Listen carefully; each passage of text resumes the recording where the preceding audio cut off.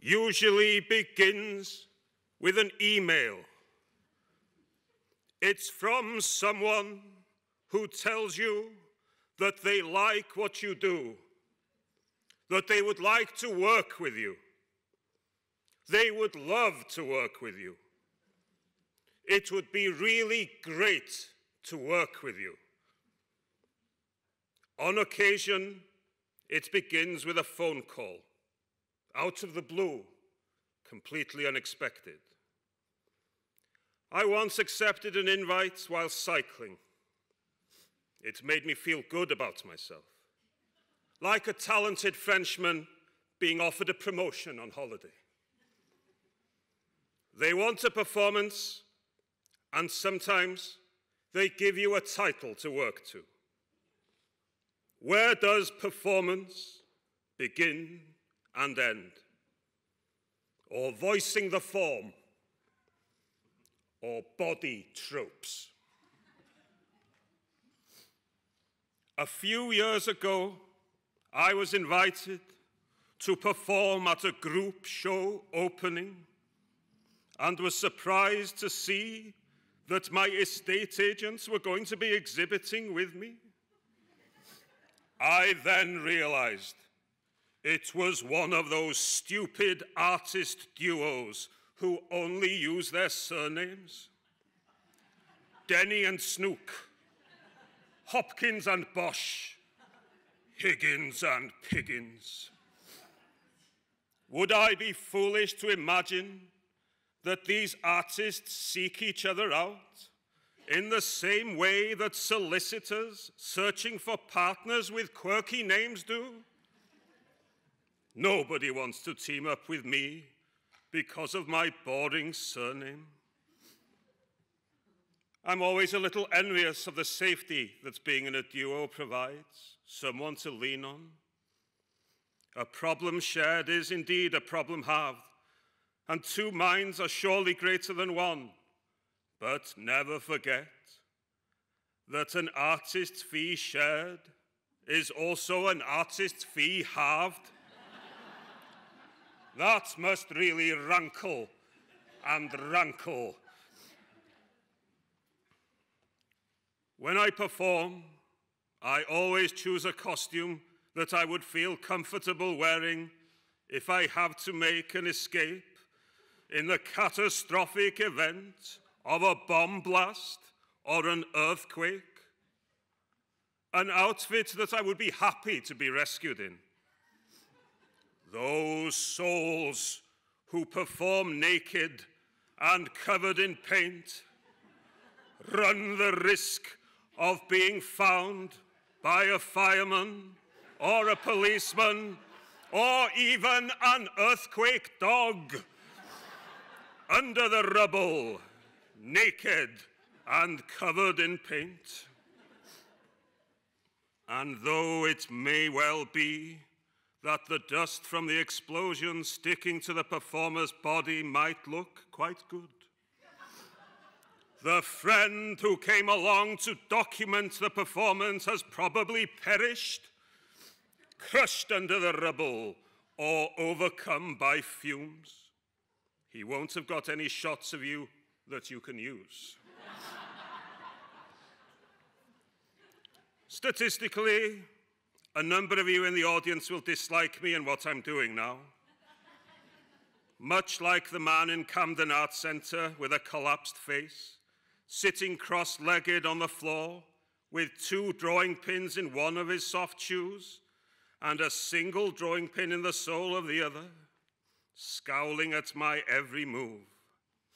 If only I could have his fingernails fall out in his sleep and then force him to pull the drawing pins out of his soles with his nibless digits not forgetting the serious minded among every audience, hating me quietly and cleverly whilst I put myself through my paces. I never want to show my bottom to people that may grow to dislike me. It's often the case that the performer must get changed in a gallery office. I like to keep my outfit there beforehand so that my transformation is as worry free as possible. Gagging on the smell of coffee, computers, and curator Musk, I stow my wallet and mobile phone in my shoes for fear they will be stolen. There is no reason to think that theft cannot happen in an art gallery. I have my quick nosy around the office, post-it notes with exotic artists' names and phone numbers, the elastic bands in a jar, a Polaroid of the curator with an artist they really clicked with and still keep in touch with. That's when the uncertainty starts and your host sticks their head around the door and asks if you're nervous and if they can get you a beer or something. I'm fine, thanks. I seldom have to share this changing room with another. Like boxers, performance artists try to destroy their opponent's confidence beforehand. They will do this by eating a stuffed vine leaf or a fig or any number of look at me foods and then offer one to you with oily fingers. No, thank you. Friendly, then aloof, London, then nice, they mean to destroy you. They are going to go out there to scream and holler and paint their feet blue. But before they do, while they get into the zone, they will prey on you for fun. Although I lie at night awake, worrying about my performance, agonizing over details, I take secret pleasure in watching artists have problems with incompatible video players at the last minute, staring at a blinking LED for an answer, keystoning, sound bleed, and leaky blackouts. Trials all. In Amsterdam, I saw a Swiss American artist in tears because of a broken projector, or beamer as she called it. As a gesture of international support, I asked, Can I get you a coffee or something? I can't think of such things right now, she replied. I saw a bald man repeat that nasty mantra, cunt, cunt, cunt, cunt, as he tried to repair a broken theremin before a musical performance. A decaffeinated weekender, Brian Eno, whose kids hate him. so, my own fears of a bad performance or a bad response terrify me. Frightening thoughts hurtle through my mind all at once before I start. A walking stick floating upright above an invalid's bed. A pincushion in the style of a Victorian lady's shoe made out of metal for a Victorian woman with a child-sized foot being used as some kind of toffee hammer to smash my bottom teeth. The sound of teachers scraping their yogurt pots clean in a staff room. Walking down a bend in the stairs and coming to a door, and behind the door, an old woman, her breath like a gluey vapor, glue dripping out of her mouth. Yoo-hoo! Yoo-hoo, she shouts. Tooting Bec Lido in the darkness, a ghostly swimming gala. The swimming trunks they are wearing should tell you that these are pre-war people. Imagine being there now, corpse feet kicking your head as you drift in and out of your lane. A story someone told me once about a school with a swimming pool concealed under the assembly hall. I dreamt of those children collapsing through the floor with their lunch and drowning with coleslaw floating around them. They would hear the shrieks of the dinner ladies from the canteen. A swimming pool at night is indeed a troubling thought. Ages old poo poo, ages old dog poo poo. A middle aged woman chewing treacle toffee, and when those slabs of toffee become chewy enough, letting them fall into your mouth one after another. And she's laughing. She's laughing through her nose as she piles more and more of these black slabs into her mouth. A window cleaner, his tapered ladder constantly wet like a ship's prow, an aluminium colored Joe Camel with pissy steel breath, staring at me through my bedroom window, disappearing behind a curtain of grimy suds, and then swiping himself back into view with his squeegee before disappearing once again. A friend's discarded bath towel falls to the bathroom floor and forms a face. A flannel floor gargoyle that you must kill before taking a shower on a residency with five others in a minibus, heading back after a day when the brakes fail on a mountain pass. Londoners who quit the city at Christmas look forward to leaving the city and chilling out with their families, seeing old friends, not knowing that they spoil everything for everyone else. no walls trying to get the most unusual presents. I don't watch much television, etc., etc. Too busy, blah, blah. Quietly critical of everything and everyone, like rude astronauts returning to Earth. I dreamt I was in a beer garden with friends. Two children Two brothers come and sit down with a large lasagna in an earthenware dish. Whilst the eldest is slicing it up, I ask who made it. He is shy and answers reluctantly that his mother made it. I wake up crying, thinking that the eldest brother represented me. Later that day, I realized that it was the lasagna that represented me. When my performances are documented, I often ask the photographer to sneak around the back and take some photographs from behind.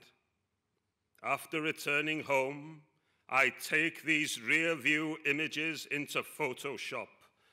And with the use of levels adjustment, I bring to the fore the faces of the audience who thought themselves hidden in the dark. I can see who's laughing and who's not.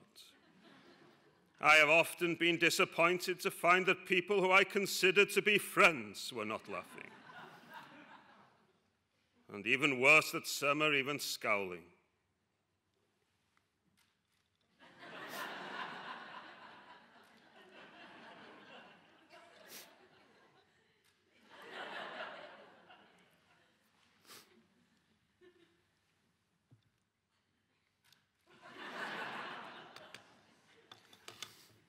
So I get a call. It's not a call, it's an email that leads to a phone call. Someone wants to collect my live art, to harvest it like rubber from a tree. A posh, lisping woman tells me that she wants me to perform at a collector's house before they have supper. I wonder, did they call me or the caterers first? I go by taxi cab, which drops me off by two ivy covered gateposts. A big house with all the lights on. In the garden, a tree with the remnants of a treehouse clinging onto it. Evidence of children long grown up and off to college or uni? I wondered. A woman with a perfect bobbed haircut answers the door, and with that, a backdraft of expensive cooking smell. Expensive food smells often teeter on the foul. I enter the room. Everyone is whispering in the high camp of the moment. Standing and sitting, an assortment of middle aged curios, all obviously attractive ones, save for one pale little piggy with dropsy. The others are sweetly scented and wear big, bold jewelry to distract from the wrinkles and sags. I ask to go to the toilet, which resembles a pharaoh's wet room. On the wall, there is a black and white photograph of the owner of the house, apparently big game hunting, on safari, with a pith helmet and rifle. When I look closer, I realize that it's not a tiger that he has his foot on, but an artist I sort of recognize from somewhere, with small Gandhi style spectacles and a preppy haircut. In the hallway, I notice a laptop covered in stickers. Who is the cock putting stickers on his laptop? I think to myself. Back in the room, they are ready for me. One man is faithfully dressed like an off duty soldier in the Napoleonic Wars, with a thick red stripe down the side of his baggy trousers, an enormous beard like a horse's nosebag.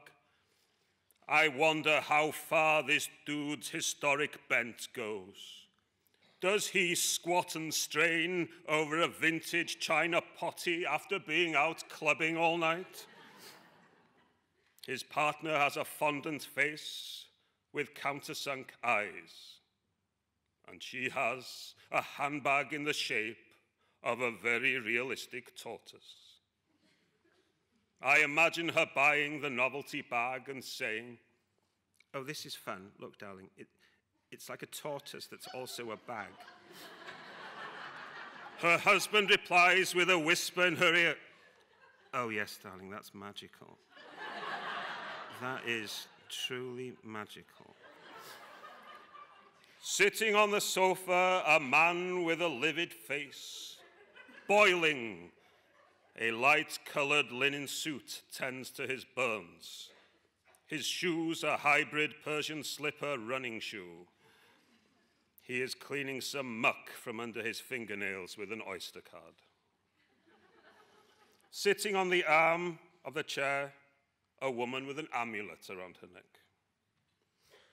It's time for my performance, and here comes the stooping PA with a bob, rounding people up.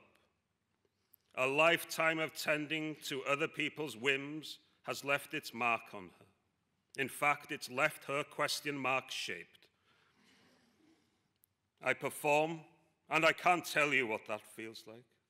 It lasts for about 20 minutes. The performance ends. A wealthy person's belly rumbles, but is soon drowned out by a mini round of applause. I exit the lounge, and somehow I make for the kitchen a huge extractor fan for such a small kitchen. A sperm whale could fart into it, and you'd smell nothing much. I take off my costume, embarrassing in a kitchen. Olive oils compete for authenticity on the counter, backs to the wall.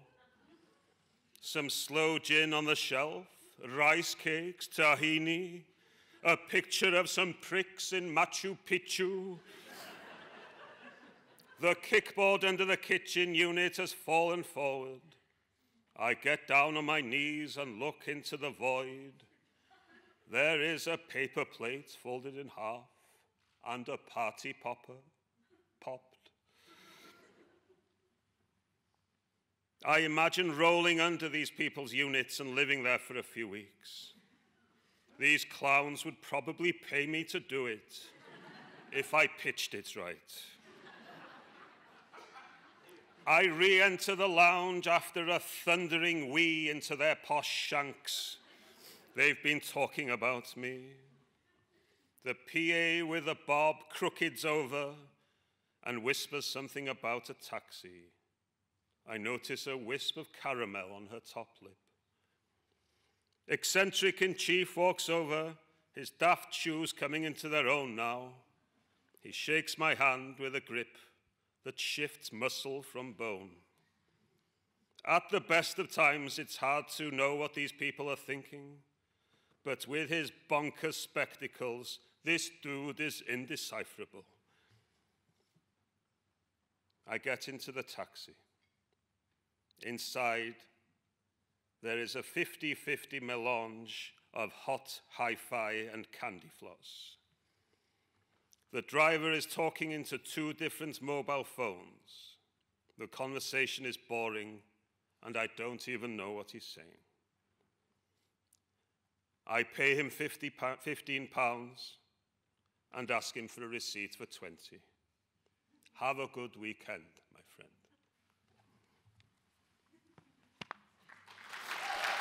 my friend.